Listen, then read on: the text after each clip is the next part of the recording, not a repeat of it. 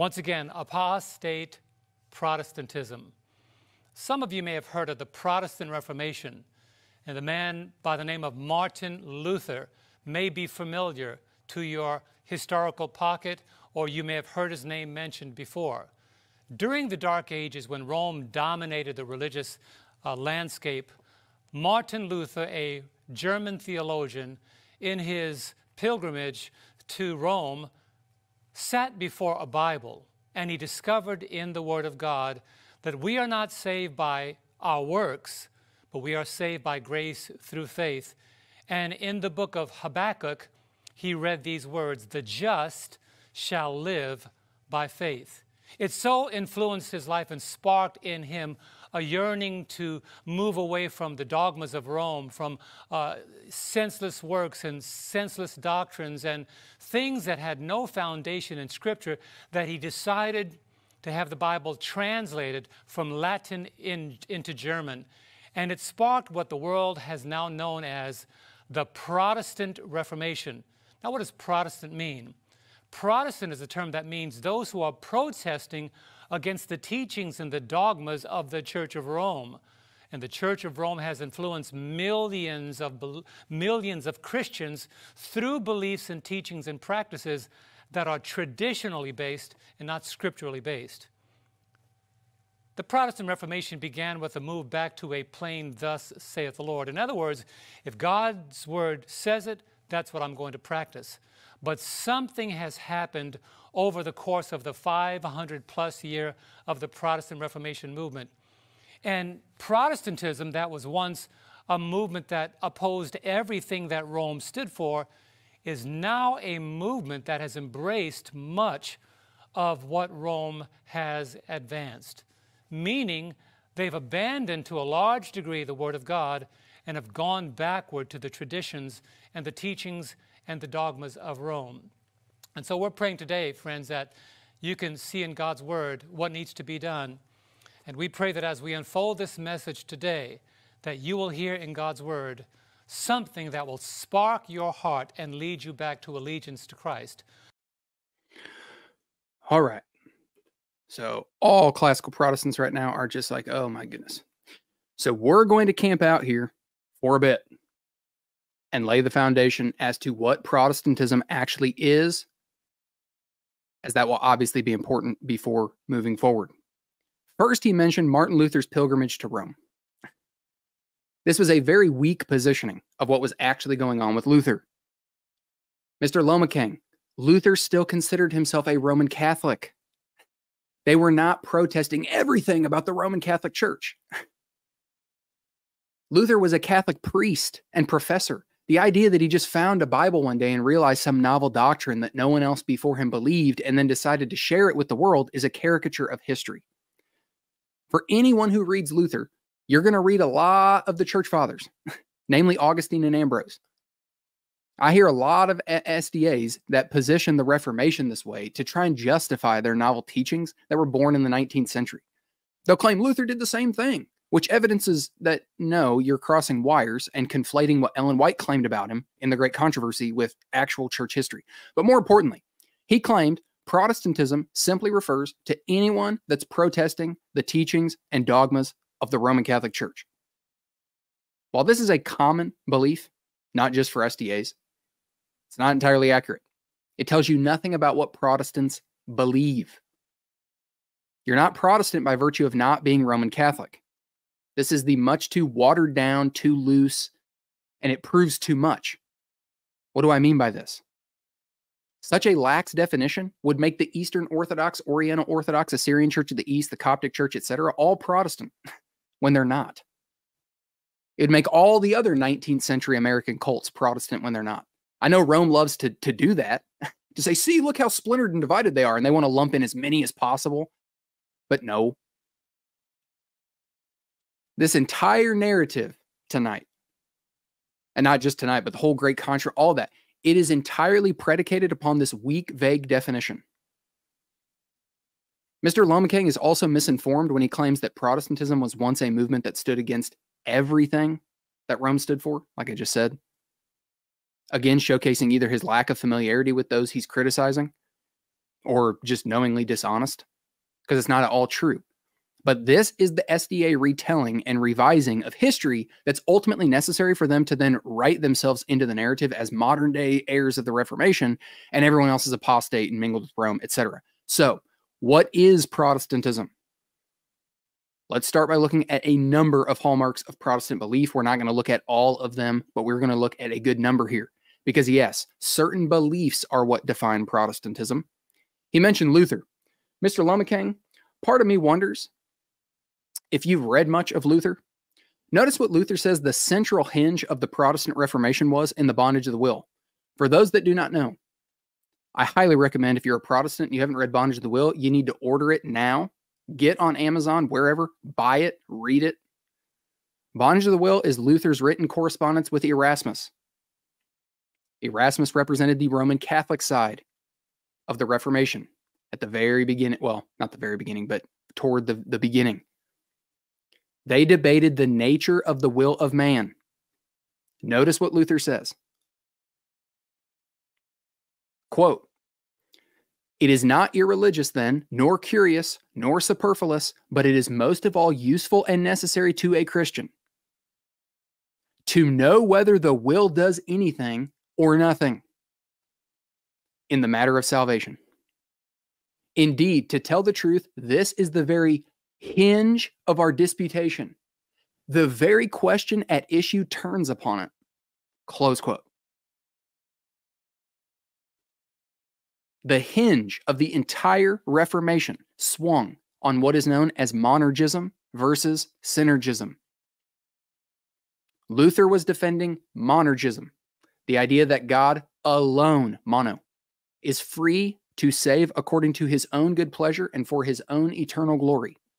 Erasmus was defending synergism, which teaches that salvation is a cooperative effort between God and the creature, not God alone. That in order to save, God must first have cooperation from the free will agent in order to save them. Monergists believe that until God freely extends grace to the sinner, freeing their will from slavery to sin, they will have no desire to turn to Him, which is why God then must first act freely and extend ineffectual grace. Now, Luther and some of the other reformers argued around some of the uh, mechanics around around grace but they believed in an effectual grace that when God acts, that grace sets out to, to and actually accomplishes what it was set out to do. It doesn't merely make something a possibility. So God actually saves someone. Adventism is synergistic to the core, which is why when they try to claim to be heirs of the Reformation, it's almost hard to take them seriously. They're not monergists. And in my experience, I've heard many of them loathe and disdain monergism.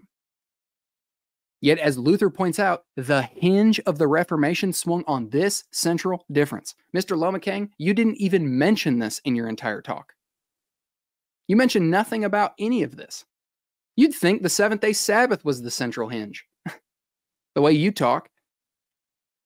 Adventism is on the Roman Catholic side of this issue. Adventists, you are on the Roman Catholic Erasmian side of this discussion of the Reformation the central hinge, your guys' biggest enemy, the beast. And you guys are like synergism on steroids.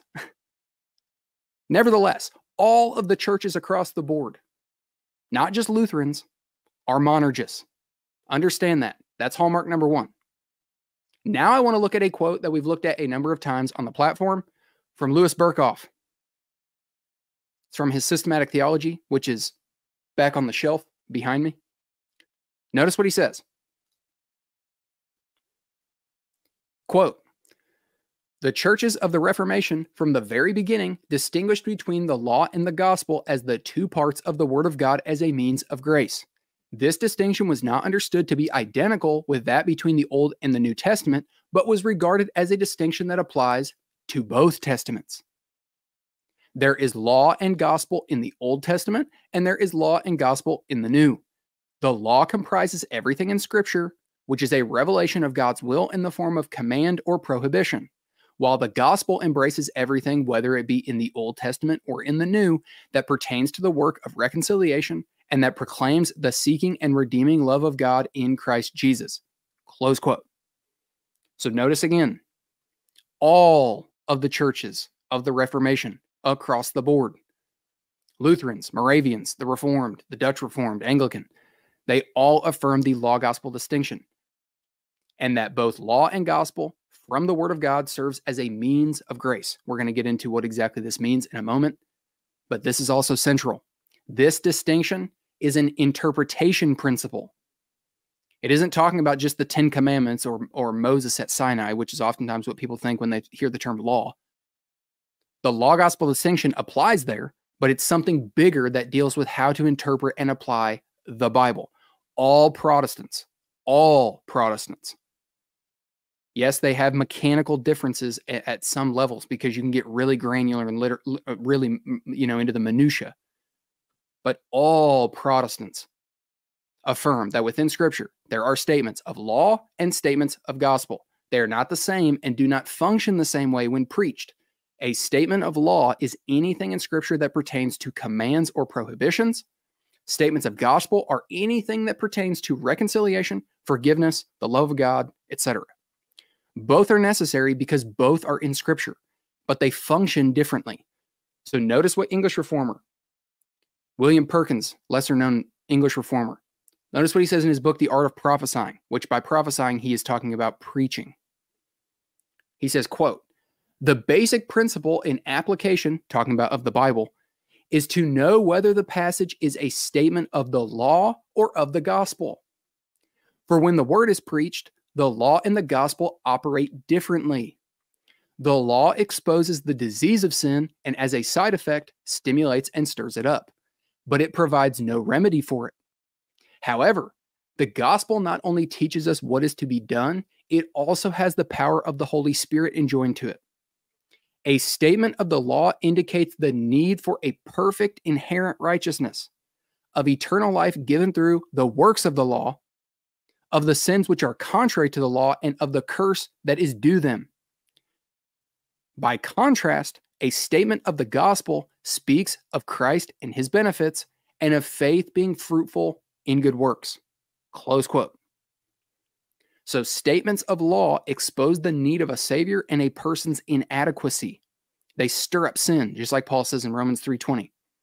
By the law, no flesh will be justified. The law brings a greater uh, knowledge of sin. It highlights sin, but it provides no remedy for the problem of falling short. Because God doesn't let anything slide. So, in order to be just, which He is, sin has to then be punished. So, there's no provisions for if you break it. Statements of gospel, on the other hand, provide the remedy and solution, which is Christ. And that by virtue of being united to Christ, a person receives all of the benefits of such. So here is a visual side by side. The law. The law tells us what to do. The gospel tells us what Christ has done. These are not all the, the, the comparisons here. It's just an example. The law reveals our sin, but the gospel reveals our Savior. The law accuses sinners, while the gospel forgives sinners. The law kills and brings death, but the gospel quickens and brings life. The law is it, it, demands perfect righteousness, while the gospel gives perfect righteousness. The law is kept by doing, the gospel is kept by believing through faith. And then the law is revealed in both nature and scripture, and the gospel is revealed exclusively in scripture. Once one grasps this, it revolutionizes things, especially former Adventists. Once you realize that within Scripture, that there are two threads running throughout the entirety of Scripture, law and gospel, and you can recognize when a statement is one or the other, it is a game changer in understanding the plan of salvation in redemptive history. So suffice it to say, all Protestants, all Protestants, Adventists, don't you can't use the Calvinist boogeyman or any of that sort of stuff. All Protestants affirm the law gospel distinction. It is a hallmark of Protestantism. And this is in contrast to the Roman branch of the church muddying this distinction over time. The Adventist church does not uphold this distinction. they teach that the law is the gospel. as we have looked at before, but here are just a couple examples to prove my point, and we could spend the whole night on this. The infamous Testimonies for the Church, Volume 4, page 294 quote. She writes, Man who has defaced the image of God in his soul by a corrupt life cannot, by mere human effort, effect a radical change in himself. He must accept the provisions of the gospel. Oh, what are those? He must be reconciled to God through obedience to his law and faith in Jesus Christ. His life from thenceforth must be governed by a new principle. Through repentance, faith, and good works, he may perfect a righteous character and claim, through the merits of Christ, of course, the privileges of the sons of God. Close quote. So the provisions of the Adventist gospel are that through Jesus, you can be reconciled to God by your faith in him and your obedience to the law. With Jesus' help, your faith in him and your good works, you can perfect, meaning develop, a perfect character like his, and by doing so, attain the privilege of being a child of God. Adventists have tried every excuse in the book to justify this statement, does not change the fact it doesn't jive with the law gospel distinction at all. Not possible. And that's the point. I don't care about all their ways of trying to justify the statement. The point is, it isn't Protestant. It is anti law gospel distinction. Full stop. Again, Signs of the Times, July 31st, 1901, paragraph 7. Quote For the highest good of his creatures, God has given a perfect law, a law that demands perfect obedience. God compels no one to obey this law. He leaves men free to decide whether they will obey and receive the reward of obedience or disobey and receive the punishment of transgression. Close quote. Not at all compatible with the law gospel distinction. Salvation is not a reward, friend, it's a gift. A reward is what one receives as recognition for an achievement or an effort. For example, notice Ephesians 2 ever since their whole justification by faith push, they love to try and appeal here now to see we're just we love Ephesians 2 and yeah, okay. And you were dead in your in the trespasses and sins in which you once walked, following the course of this world, following the prince of the power of the air, the spirit that's now at work in the sons of disobedience, among whom we all once lived in the passions of our flesh, carrying out the desires of the body and the mind, and were by nature a child of wrath, like the rest of mankind. But God, being rich in mercy, because of the great love which uh, with which He loved us, even when we were dead in our trespasses, made us alive together with Christ. By grace you have been saved, and raised us up with Him, and seated us with Him in the heavenly places in Christ Jesus, union with Christ, so that in the coming ages He might show the immeasur- immeasurable riches of His grace and kindness toward us in Christ Jesus. For by grace you have been saved through faith, and this is not of your own doing. It is a gift of God, not a result of works, so that no one may boast. For we are his workmanship, created in Christ Jesus for good works, which God prepared beforehand that we should walk in them. And thus the reading of God's holy word. So notice the flow. You were once dead in your sins and trespasses, something Adventism has to glaze over or outright ignore because they don't believe anything about a person can be dead if they are physically breathing. Yet Paul explains that prior to union with Christ, a person is dead in their sins and trespasses, by nature, a child of wrath, uh, of wrath, like the rest of mankind. By nature, not behavior, Adventist friend, by nature.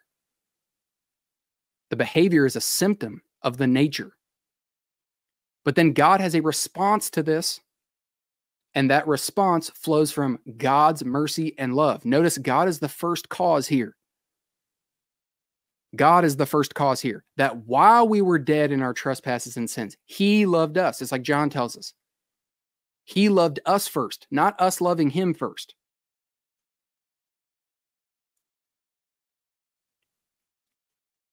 God is the starting point. In his great mercy, he raises the dead sinner to newness of life by uniting them to the Lord Jesus Christ.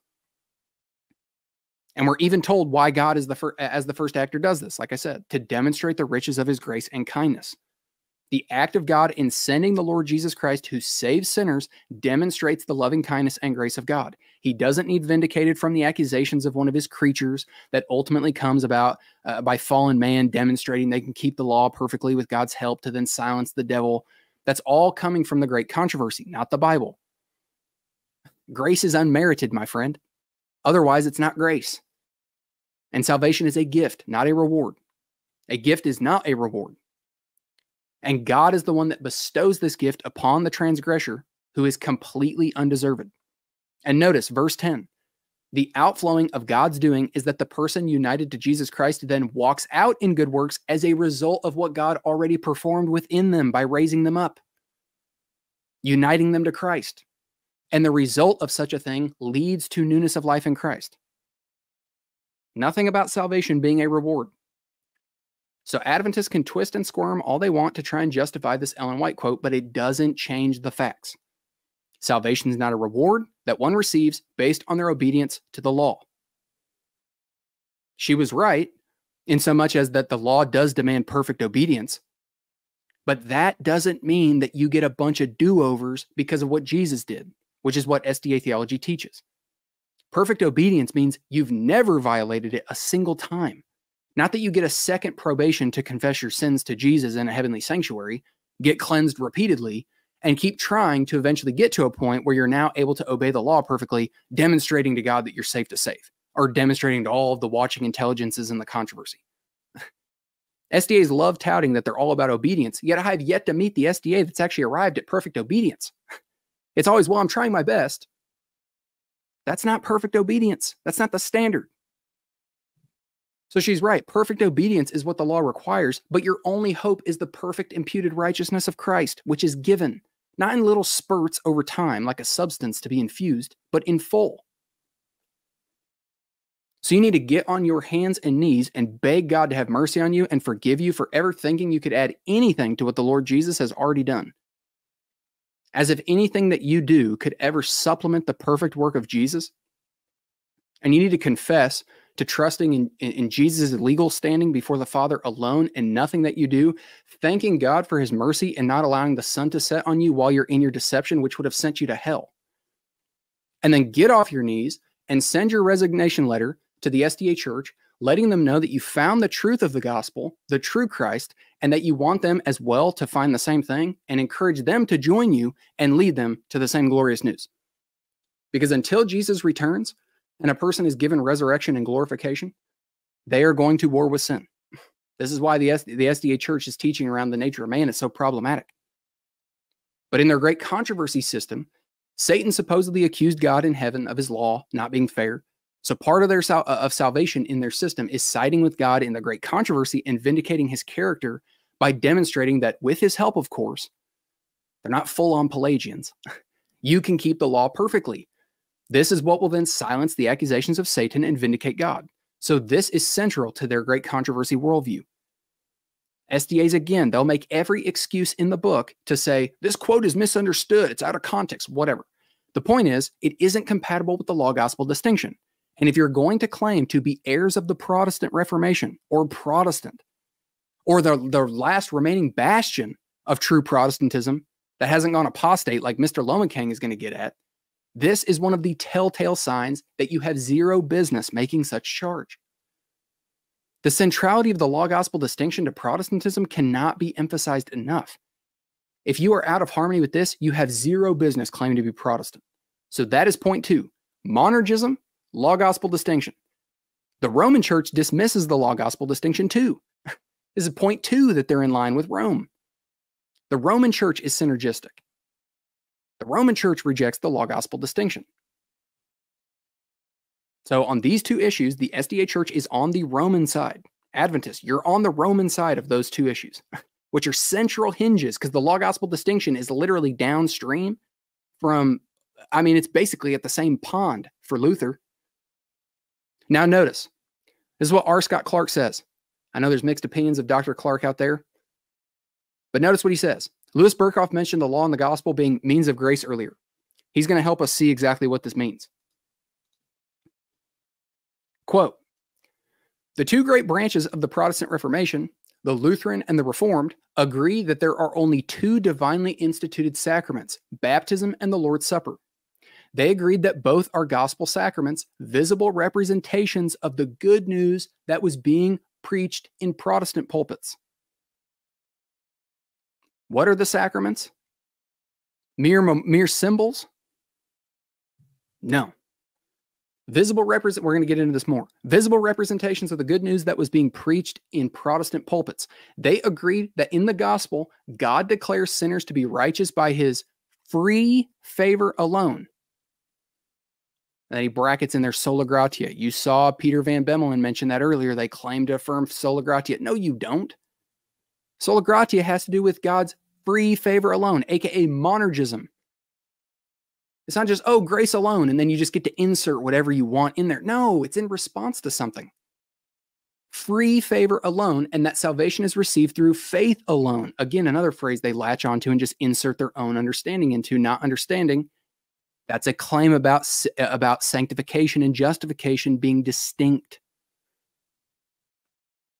They agreed that the sacraments are a means of grace, media gratiae, by which God strengthens and encourages believers. They agreed that baptism is Christ's sign and seal of the washing away of sins by grace alone, that it is to be administered to believers and to their children. Though they disagreed about its efficacy, and that the supper is his institution for nourishing the faith of professing believers, they also agreed that the Roman Church's doctrine, or yeah, the Roman Catholic doctrine of the memorial propitiatory sacrifice of Christ, so the Mass, in the supper is an idolatrous assault on the finished work of Christ. So Dr. Clark points out a number of other key Protestant distinctives here. Protestants believe in what is called the ministry of both word and sacrament. The ministry of word and sacrament. God's word is preached, which is absolutely necessary because the sacraments uh, have no power outside of, of that. Like bread and wine here at my house are not sacraments. So God's word is preached, which the sacraments of baptism and the Eucharist partner alongside as a unified ministry. As he points out, Protestants teach that the sacraments are visible representations of the gospel. So the word of God is preached, which entails both law and gospel, when the pastor preaches a statement of law, it points a person to Jesus, where the gospel is found. The law points people to Christ, where they then hear the good news of the gospel, are reminded that Christ is enough, we're accepted in Him, all of the benefits of of, of being in, in Him, um, justified, forgiven, accepted, adopted, etc. It's it, uh, union with Christ is really a term of identity. There is then a corporate call to confession of sin, followed by corporate confession of pardon, which both come from Scripture. So at my local church, for example, we typically recite the Psalter and his cries of needing cleansed, forgiveness, etc. This is then followed up with a statement of gospel in the, the scriptures about forgiveness, acceptance in Christ, etc. We then believe that by faith and approach Jesus Christ at his table to partake of him in the sacrament of the Lord's Supper. That sacrament is a visible sign to the senses of what we are promised in the gospel. Dr. Clark then explains that Protestants believe that God declares sinners to be righteous by his free favor alone. That's monergism. Which is what I said, what, I was saying about sola gratia is truly about. Then he mentioned that Protestants believe in the sacraments being a means of grace, that they are used to actually strengthen, grow, and mature the believer, which is why both word and sacrament are necessary. This is again speaking to the ministry of both word and sacrament. And by the way, even again, there, there's differences around mechanics of things, but in the general and on the same foundation. When Protestants say grace alone, it is in that context of monergism. It's not just the general idea that God's grace is necessary. The Roman church believes that. They're not Pelagians. So there's a distinction there in how that word is being used that also doesn't align with Adventism. But nevertheless, Adventism does not teach that the sacraments are a means of grace. In their movement, it is strictly a memorial service Christ isn't truly present. You don't actually partake of him. It's not paired with the preaching of the true gospel week in and week out as a dual ministry. They take communion like every 13th week or something like that. He mentioned how Protestants agree that uh, the, that baptism is a sign and seal of the washing away of sins that's to then be applied to both believers and their children.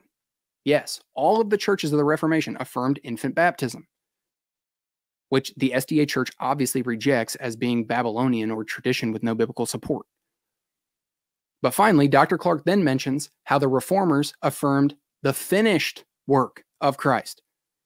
They actually took umbrage with the Roman the Roman Mass for specifically that reason.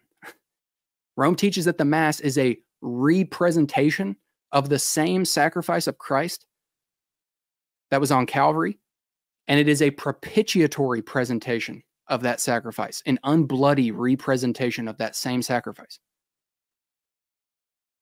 The SDA church is in the same boat in that sense, in thinking that the atonement is a long, drawn out thing with a second phase in heaven, as we've looked at a number of times in great detail before.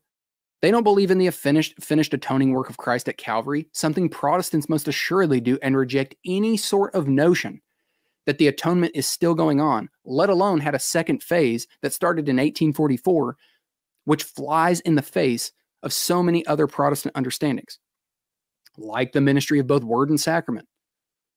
For the same reason, this is incompatible with Rome's system, it's incompatible with the SDA system.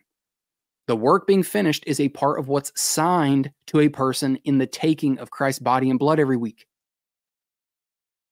So, so far, we see that Protestantism is hallmarked by monergism, the law gospel distinction, the ministry of word and sacrament, infant baptism, and the finished atoning work of Jesus Christ. Now let's look at more Berkhof. Notice what he says, again from his systematic theology. Quote, he, talking about Luther, regarded the church as the spiritual communion of those who believe in Christ and restored the scriptural idea of the priesthood of all believers. He maintained the unity of the church, but distinguished two aspects of it the one visible and the other invisible.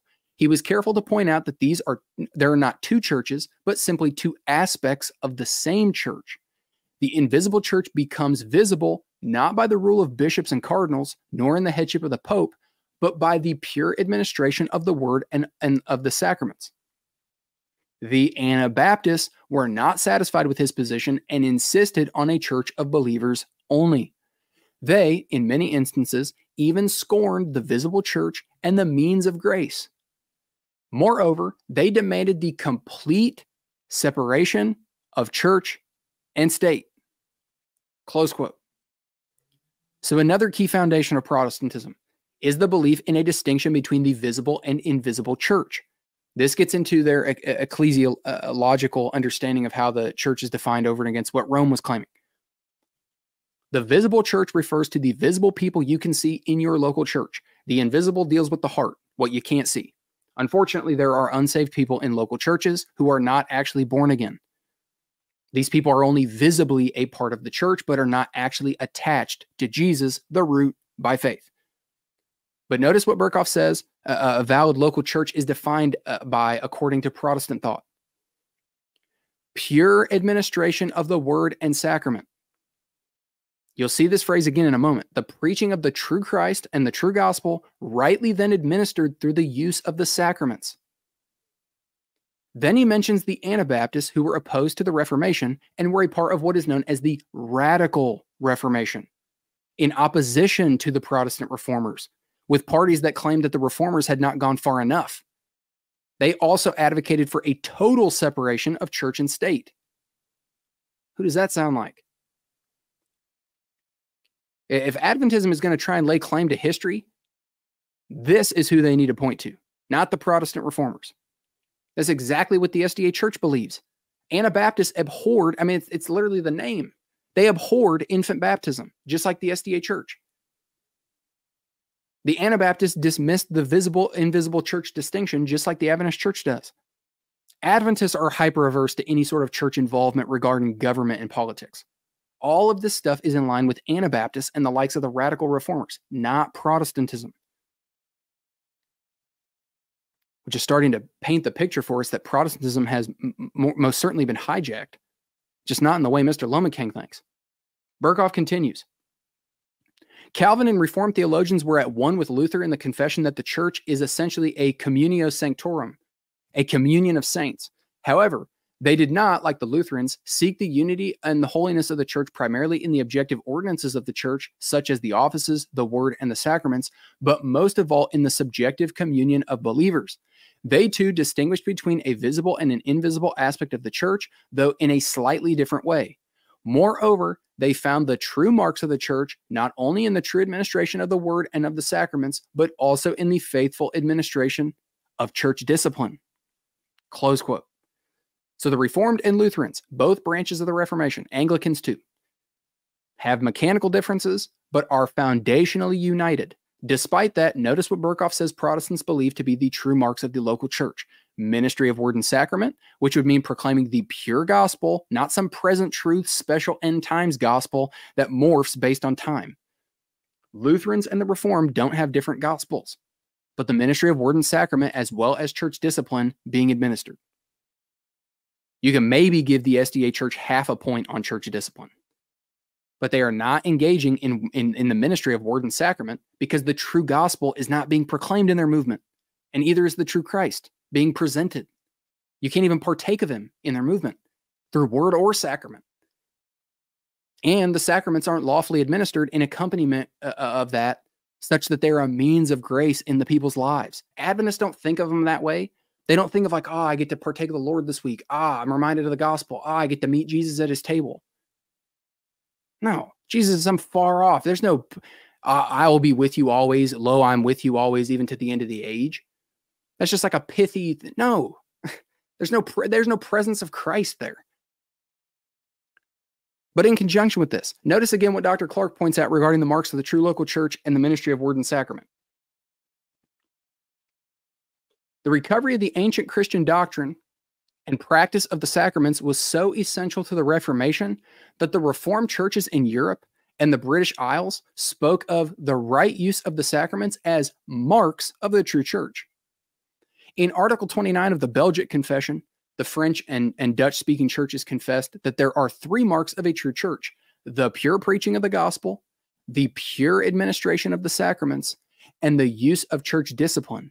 The phrase pure administration of the sacraments was a shorthand way of rejecting both the Anabaptists and Rome. Close quote. Adventism does not meet these marks. They don't have the pure preaching of the gospel because they don't have the gospel. They don't have the pure administration of the sacraments, which requires the pure preaching of the gospel. He mentions the phrase pure administration regarding the sacraments and how it's used to state the rejection of the Anabaptist faulty practices. Again, this is who the SDAs more resemble the Anabaptists, not Protestants. Now, notice what Charles Hodge says in his systematic theology, where he highlights another foundational part of the Reformation. We've got law gospel distinction, the monergism, the ministry of, of word and sacrament, the sacraments being a means of grace, a countless other things so far. But now we're going to move on to another one. Dr. Clark already pointed out earlier that Protestants affirm sola fide and sola gratia, two of the five solas, while now Hodge is going to explain to us the third, which is sola scriptura. The SDA Church loves to claim they're in line with this, citing what we saw Ellen White say earlier. Remember what she said. Notice, quote, all Protestants, all Protestants agree in teaching that the Word of God, as contained in the scriptures of the Old and New Testaments, is the only infallible rule of faith and practice. Infallible. It's not just Bible only. When it says that was in response to two lines of infallible standard. That's the context of the statement of sola scriptura. You don't just get to take the phrase and say, well, it just means Bible only. No, it means Bible only what? It's the only infallible rule of faith and practice. He continues All Protestants agree one, that the scriptures of the Old and New Testaments are the Word of God written under the inspiration of the Holy Spirit and are therefore infallible and of divine authority in all things pertaining to faith and practice, and consequently free from all error that's inerrancy, Adventists, whether of doctrine, fact, or precept. Two, They contain all the extant su- supernatural revelations of God designed to be a rule of faith and practice to his church. And three, that they are sufficiently perspicuous to be understood by the people in the use of ordinary means and by the aid of the Holy Spirit in all things necessary to faith and practice without the need of an infallible interpreter. Close quote. So get this, folks. This is key. Sola Scriptura is not Bible only. Hodge rightly points out Sola Scriptura is the belief that Scripture is the only infallible rule of faith and practice, not the only rule outright. Protestants affirm the historic Christian creeds, for example, because they're an accurate summation of what Scripture teaches. But the Scriptures are the only infallible rule of faith and practice for the church, over and against Rome's claim of capital T tradition also being another infallible source of authority, which works uh, works itself into papal supremacy and the magisterial authority. Sorry, and the magisterial authority being infallible interpreters over the scriptures. Which is why Hodge then adds that Protestants believe in the perspicuity of Scripture, that all things needed for faith and practice can be clearly understood from Scripture without the need of an infallible interpreter. Not that every single doctrine of Scripture is such, but that what which is necessary pertaining to salvation and the gospel is plainly clear. There are obviously doctrines that are advanced, complex. You get into minutia and mechanics. But the SDA Church does not affirm, affirm that Scripture is the only infallible rule of faith and practice. Remember how Ellen defined it, which is how the SDA Church is, is forced to. The Bible and the Bible only is the rule of faith and practice. Not that it's the only rule that's infallible. That's a major difference. Notice what Dr. Scott Manetsch says. Quote, Evangelical Christians in North America sometimes misunderstand the Reformation doctrine of sola scriptura to mean that the Bible is the Christian's only theological resource, that it can and should be denuded of its churchly context, meaning nuda scriptura. Such an understanding is altogether incorrect. So catch that. The belief in Bible only is called nuda scriptura. It is a distinct and separate con- concept. It, it detaches scripture from church history entirely, and then it seeks to read it apart from that, which has always been and always will lead to all sorts of ancient heresy being resurrected. But he continues Calvin believed that Holy Scripture, as the only infallible rule of faith and practice, should serve as the final authority by which to judge Christian doctrine and practice. But it was not his only resource for theology. Consequently, he regularly consulted and appealed to early Christian documents and church authorities, most notably Augustine, to gain theological insight and clarity on contested doctrinal matters. He recognized the strategic importance of demonstrating the continuity of Protestant teaching with the core convictions of the early church. Thus, his regular refrain, the ancient church is on our side. Close quote. Very clearly, and this is just one of many examples, the Protestant reformers, folks, were not Bible only like the John Loma Lomacang and Ellen, John Lomacangs and Ellen Whites and, and SDAs want to tell us. They didn't disregard church history and those that came before us and read scripture completely detached from that in a vacuum. I mean, just a casual read of any of the reformers will show that this is is is the case. They're constantly citing and pointing to, to others, namely those of the patristic era. Which is why Dr. Manetsch just point eh, eh, eh, he points out that Calvin's battle cry was that the ancient church is on the side of the reformers. That's what they argued with Rome in this context. What were those early believers saying and claiming? But neither side was saying what the SDA church is. so, another important aspect of Sola Scriptura and the evidence that the SDA church does not affirm the actual meaning of the term inerrancy. Yes, the SDA church rejects inerrancy because of Ellen White. They have to, because they have to have the two on the same platform. But notice Matthew Barrett, what does he say here regarding sola scriptura and inerrancy? Quote To get a full picture of sola scriptura, we need to go beyond saying the Bible is merely inspired or God breathed. Inspiration should lead to an understanding that the Bible is perfect and flawless. In other words, Inerrancy is the necessary corollary of inspiration. They are two sides of the same coin, and it's impossible to divorce them from one another. Because it's God speaking, that's the key. Because it's God speaking, and He is a God of truth, not error, His word must be true and trustworthy in all it addresses. And because inerrancy is a biblical corollary and consequence of divine inspiration, inseparably connected and intertwined, it is a necessary component of sola scriptura. Close quote. We're going to be doing a stream responding to Dr. Judd Lake on this issue in the coming weeks. But Protestants affirm the inerrancy of Scripture. Adventists reject it as a fundamentalist idea, which shows no, they don't even understand what sola scriptura entails. It is not Bible onlyism, Adventists. The SDA Church doesn't affirm that either, by the way. Ellen White and the GC in session are also infallible rules of authority for them. But notice what he says God is unerring and infallible by nature, such that when he reveals something, it's always true, accurate, and perfect. Inerrancy and, and sola scriptura are tied ultimately to scripture being unique by virtue of the source.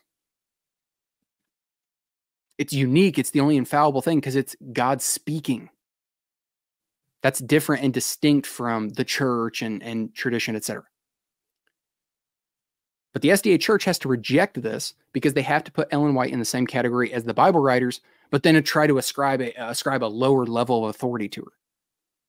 As it pertains to interpretation, remember how Hodge rightly pointed out no infallible interpreters needed. That's the Protestant view. This was in response to the Roman magisterium claiming infallible interpretive authority. So we've looked at this before, but for those who who, who we did, who didn't see it, June 3rd, 1971, Review and Herald. Notice what it says. Official organ of the SDA Church here. Quote Protestants have always claimed that the Bible is its own interpreter. Perhaps it's better to say the spirit of prophecy, we use the term here as synonymously with the gift of prophecy, or testimony of Jesus, is its own interpreter. The Bible is an infallible guide, but it needs to be infallibly interpreted to avoid confusion and division. Ah, so the SDA Church claims to have an infallible interpreter of the infallible book, which is found in the writings of Ellen G. White, because she supposedly possessed the spirit of prophecy, which is supposedly Jesus speaking through her writings. So they have simply replaced the Roman magisterium and the papacy with the writings of Ellen White. Are you noticing the trend here? So, Mr. Lomacang, again, I agree. Protestantism has been hijacked, just not in the way that you're going to put forth. Now, let's look at something that correlates to what Berkhof mentioned regarding the marks of true and valid local church according to Protestantism. Sorry, I said Berkhof. I meant Dr. Clark again. Notice what he writes. Quote, we should not simply assume that all these groups that call themselves church are such. As early as 1561, the Dutch Reformed churches recognized this problem with respect to the Anabaptists, whom all the confessing Protestants rejected as part of the Reformation altogether. The churches confessed for all sects in the world today claim for themselves the name of the church even though they are not actually churches. This is how we deal today with many of the groups that arose in the 19th century as part of the so called Second Great Awakening and the other groups. So, pause real quick. All of the reformers, regardless of the branch, rejected the radical reformers and their hyper overcorrections. And then notice the quotation there are a number of sects in the world today that claim the name of the church, even though they are not actually valid local churches.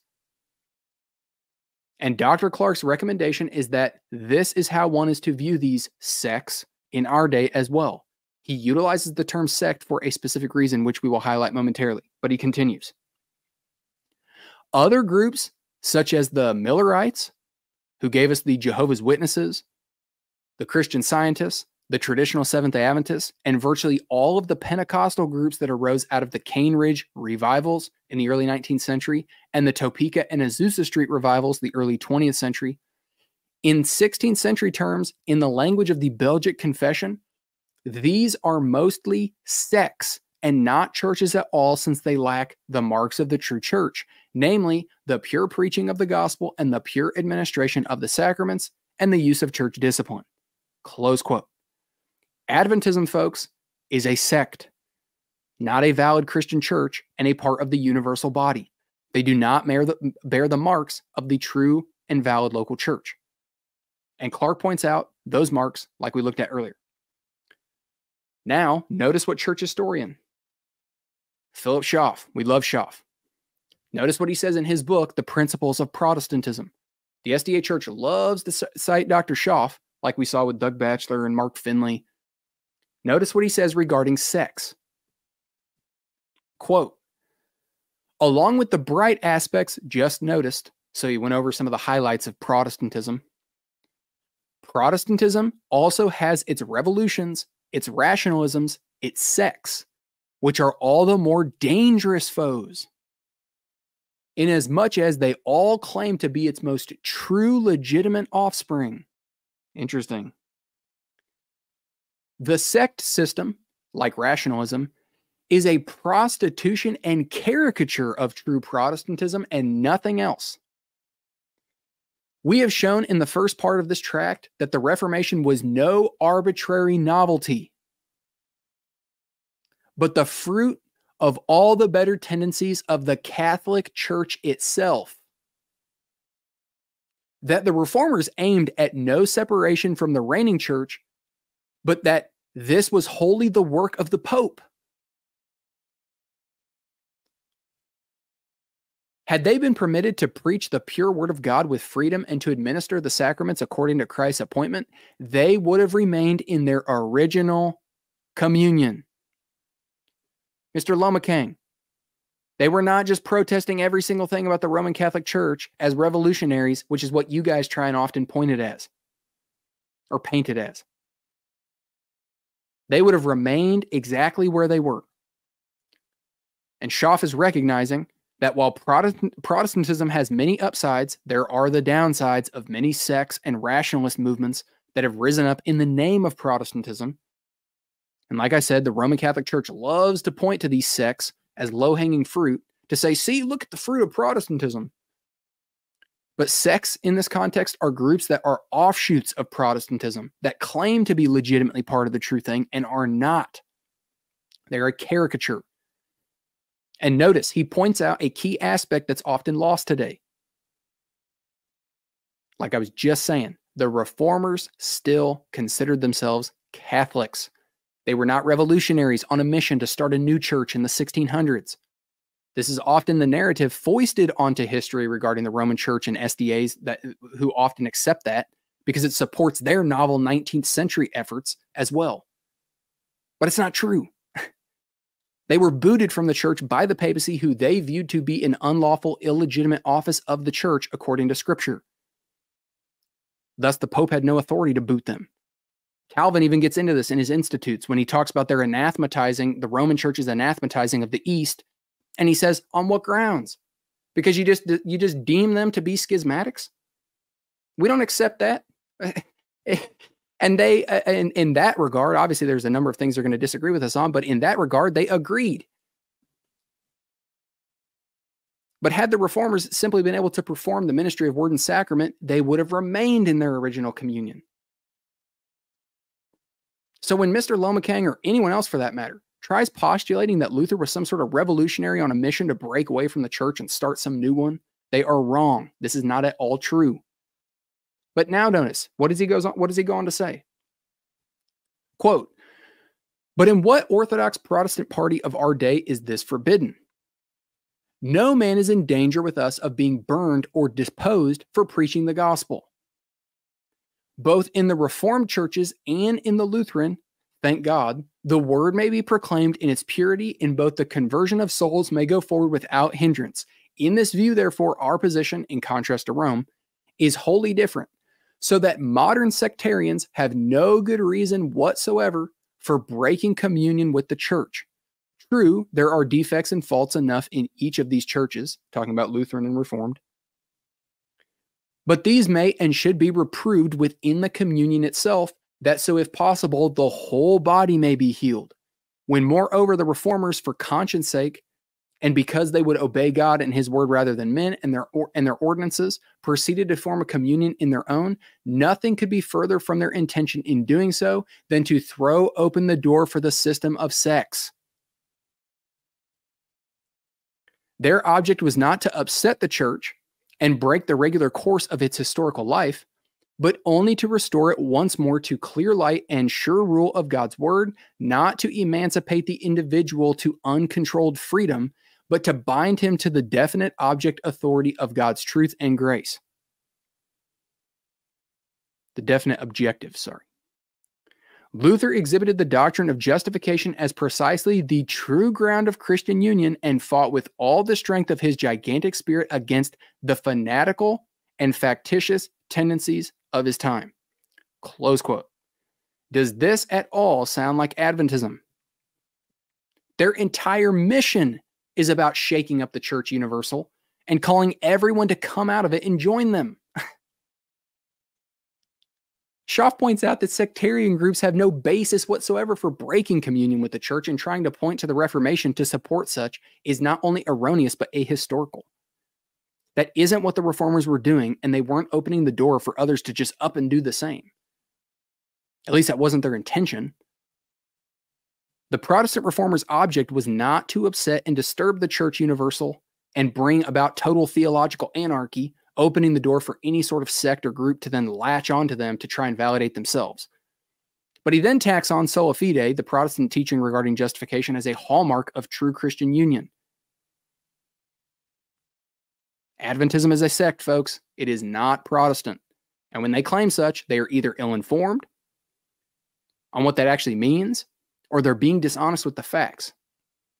Now, I know that was quite a bit of information, and we're very shortly in, but it matters. Being Protestant is not simply protesting the Roman Catholic Church. The protestation was rooted in beliefs, specific beliefs. So, to recap, Notice the hallmarks.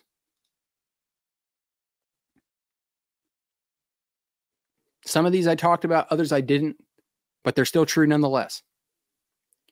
Protestants are monergists, not synergists.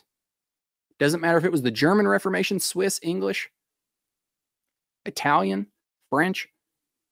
The SDA church is on the Roman Catholic side of the Reformation on this issue. Protestants affirm the five solas which again, those means specific things. You, you don't just get to take the phrases like the SDA church does and just insert whatever you want into the, the phrase. Like with sola fide, they'll vehemently assert, we believe in sola scriptura, sola fide. But as you see, they then redefine what that means and just use the slogan to try and appear like they do when they don't believe what it actually means because they've denuded the phrase from history. Protestants believe the law gospel distinction. The SDA Church 100% is not in line with this. Again, universal across the entirety of the Reformation. Another area they are on the Roman side. Protestants affirm the visible invisible church distinction. The SDA Church is in line with the Anabaptists and the radical reformers on this issue with regards to that distinction, but furthermore, they're in their own category because they think they're the remnant. Protestants affirm the ministry of word and sacrament. The SDA church is not at all in line with Protestants on this. Protestants affirm church discipline. You could maybe give them a point on this. It's more like excommunication or disfellowshipping. Protestants affirm infant baptism. Again, they are in line with the Anabaptists on this, not Protestants. Protestants are creedal. Apostles, Nicene, Athanasian Creed. The SDA Church rejects the creeds and affirms their no creed but the Bible which Adventist, that's a creed in and of itself. Everyone has a creed. But not just that, their, their 28 fundamental beliefs are also a creed. Protestants believe in a finished atonement. They're like Rome, Adventism is. And even claim the same things. They'll, they'll uh, sometimes to that, that Rome will to justify the mass.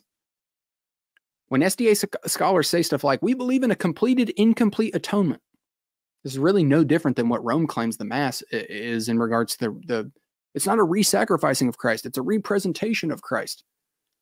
But it's propitiatory, right? well, the work that Jesus is doing in heaven in the investigative judgment is supposedly propitiatory. I could spend all night on this too, but the point is no, Adventists, you don't have a finished atonement. You have a long, drawn out propitiatory work, just like Rome has, and that work isn't finished yet. This is not at all compatibilism, compatible with Protestantism. Cessationism. No modern prophets. Didn't touch on this one, but the Protestant reformers were cessationist. They did not affirm modern prophets, let, alone one like Ellen White, who supposedly serves as an infallible interpreter from God of the scriptures, which is the roadmap, they'll say, or the, the map in the storm of whatever. No, completely contra Protestant belief. And then another one, the Lord's Day is the first day. Yes, universal. No Protestants were Judaizers, never have been. None of them affirmed the seventh day Sabbath. This is one of those Anabaptist areas where they'll, they'll claim, yeah, because you didn't reform far enough. Even though they very much rightly understood why the church universally meets on the first day, and it was because of the new creation. Notice nothing about eschatology. Adventists love appealing to the reformers to try and claim they align with them in eschatology, so therefore they're heirs to them. No, you're not. Just because the SDA church claims to be historicists regarding prophetic interpretation does not make you a part of Protestant lineage. Not all Protestant were, Protestants were historicists for the start for starters, which automatically eliminates you guys because unlike Adventism, the reformers didn't anathematize people who had different views on eschatology. You can't even be a Seventh day Adventist without being a premillennial historicist because eschatology is the foundation for their movement. Yet it isn't for Protestants or any branch of the Christian church for that matter, because Protestants aren't the only Christians. But on top of all of that, yes, there's more. Adventists have their own novel gospel message that no one before them had, supposedly. We have looked at this before. But again, for those who have not seen it, this is the May 5th, 1932 Advent Review and Sabbath Herald, official organ of the SDA Church.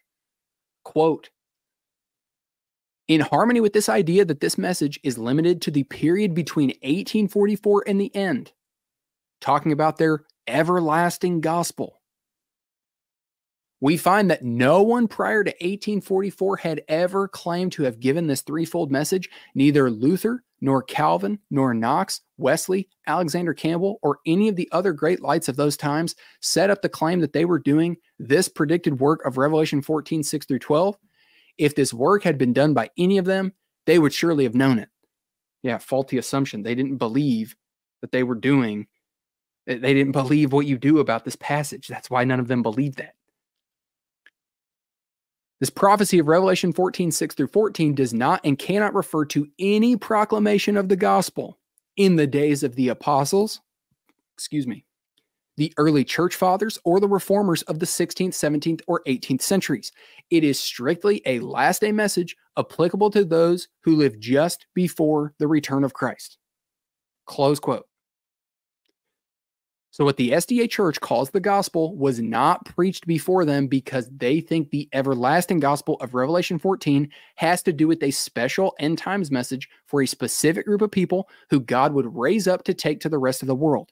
It wasn't preached by the apostles, the church fathers, the reformers, etc. Only them. That is not at all a Protestant belief, as Protestants never have claimed the gospel fell away and needed restored or that there's some special present truth end times or that people before the, the reformers didn't actually have and understand the gospel. This is in part why the SDA church doesn't meet the true marks of the ministry of word and sacrament. Because the word part of that equation has to include the true gospel. Again, not a novel end time special truth present truth gospel that only a select people have who got it from God through the means of a 19th century woman in um, Northeast America. Notice what Herbert Douglass says regarding this in his paper, What is the Everlasting Gospel? Probably the foremost SDA theologian to date. Quote, the purpose of the gospel is to make plain why Jesus came and why he died. The everlasting gospel, so we get a contrast here, in the end times restores the New Testament gospel in its wholeness, in its integrity. It explains God's plan to save men and women in such a way that their presence in the new earth would not jeopardize again the well being and security of the universe. That's why I said earlier you have to demonstrate that you're safe to save. It vindicates God's character, but it also demonstrates that you can be trusted to not let sin enter again. He continues, Thus, the gospel is not limited to the good news of his pardon and forgiveness. It presents the ellipse of truth that reveals the integrity of God's grace as including his forgiveness and his power to transform. Close quote. So the everlasting gospel is contrasted with just the gospel. Two different things. And the everlasting gospel for SDAs is supposedly the fullness of the plain old gospel that was revealed in the end times to the SDA church through the great controversy theme and Ellen White. He continues The gospel ellipse is revealed beautifully in the book of Hebrews as mercy and grace to help, let us therefore come boldly to the throne of grace, that we may obtain mercy and find grace in help uh, uh to help in time of need. Hebrews 4:16. John expresses the same good news as forgiveness and cleansing. If we confess our sins, he's faithful and just to forgive us our sins and cleanse us from all unrighteousness. 1 John 1 9. Paul saying, For I'm not ashamed of the gospel of Christ, for it's the power of God to salvation for everyone who believes, has faith. Romans 1:16. The irony. In light of what we just read from J.L. Shuler, and the everlasting gospel being a special end times message that only SDAs have, Herb cites Romans 1:16. Yet the apostles weren't preaching the everlasting gospel. So Paul apparently had a limited gospel in view in Romans 1. what a mess. He continues, the everlasting gospel adds much more to limited gospels that focus only on one half of the gospel ellipse. The religion of Christ, now he cites from Christ Object Lessons. The religion of Christ means more than the forgiveness of sins. It means taking away our sins and filling the vacuum with the graces of the Holy Spirit. It means a heart emptied to, of self. The glory, the fullness, the completeness of the gospel plan is fulfilled in the life. So, listening again to Revelation 14, the everlasting gospel will get a fair and full hearing in the end times. Limited gospels that ridicule adherence to God's expressed will, aka the Ten Commandments, as being outside of the gospel, a law gospel distinction, will appear inadequate beside the clear proclamation of the everlasting gospel. Limited gospels that cry legalism. Ah, you're mixing law and gospel. That's legalism Oh, this is what he's responding to. Limited gospels that cry legalism at any attempt to embrace faithful obedience will be seen as contrary to the message of the New Testament grace. Close quote. You guys aren't Protestant. It's just a bunch of buzzwords to say we reject the law gospel distinction and we think that obedience and faith makes a person right with God. And if you disagree, this is why SDAs will then say, oh, so you, you just are advocating for lawlessness. False dilemma fallacy. No, that's not what I'm saying. What I'm saying is, is you're hitching up just like again back to the whole core issue of law gospel distinction, sola fide, recognizing the distinction between justification, sanctification, justification being a one-time act, not a drawn out thing over time, enjoined with sanctification, like Rome says, which again, the SDA church is on that side of the Reformation. But we got the erroneous claim that they make that they're the only ones teaching obedience to God. And it's these limited gospels that cry legalism when they hear and see the SDA church's unlawful use of the law and claim that obedience maintains a person's justification before God, which Ellen White very plainly states when she says, quote, when God, or while God can be just and yet justify the sinner through the merits of Christ, no man can cover his soul with the garments of Christ's righteousness while practicing known sins or neglecting known duties. God requires the entire surrender of the heart before justification can take place. And in order for man to retain justification, there must be continual obedience through active living faith that works by love and purifies the soul. Close quote. completely flies in the face of monergism and sola fide, two things that are central to Protestantism. We aren't rejecting obedience to God and living a holy life by virtue of rejecting the SDA Church's inability to distinguish between the law and the gospel. We aren't disparaging obedience by recognizing that the SDA Church doesn't properly recognize that justification is a single act done by God, which then leads to a changed life, but that changed life and behavior isn't what maintains one, one's righteous standing before God. This is all a caricature from the SDA Church and their scholars to make it seem like they just believe people should be obedient to God and everyone else is an antinomian theological anarchist. The Bible does not talk about the everlasting gospel being a different, more full gospel than just the gospel. This is again the SDA church ins- inserting an unfounded distinction where scripture does not make one. There's not a bunch of limited gospels and then a more full one. Paul is clear in Galatians 1 you either have the gospel or you don't, period. And the SDA church has a false one. It's not what the apostles who received the gospel from Jesus himself were preaching. Herb Douglass's statement puts what the apostles were what the apostles were preaching in a limited gospel category because they weren't preaching what the SDA church calls the everlasting gospel. but all of that to say, Mr. Lomacang, you are absolutely correct. Protestantism has been hijacked, hijacked by sects like Adventism, who try and ride the coattails of the Reformation, having no clue what they're even trying to hitch themselves to, to add legitimacy to their movement when in reality, you're your own thing that sprang up in the 19th century with no actual connection to the church in history. You guys have confused people and, and you give talks like this that only further confuse people. The Protestant Reformation centered around soteriology, the doctrines around salvation. Hence why Luther said that monergism and synergism were the hinge and why justification was such a hotly contested subject. You guys are on the Roman side of the Reformation on this subject, not the Reformers. You guys are synergists on steroids. You affirm hyper free willism. And you guys don't affirm a law gospel distinction. So if you're going to make the charge that Protestantism is apostate, that would mean that at one time it was legitimate. Well, those hallmarks are all classical Protestantism, not modern day evangelicalism, classical Protestantism. So I guess they didn't even meet the standard of Protestantism according to this movement. The actual first generation reformers. but I know that was a lot. That's the foundation. That's what it means to be Protestant. Keep these things in mind through his talk here, because as we're going to see, his postulating of what Protestantism was and is is totally off base and incorrect, showcasing that the foundation for their whole idea of apostate Protestantism is based on a caricature and revising of history.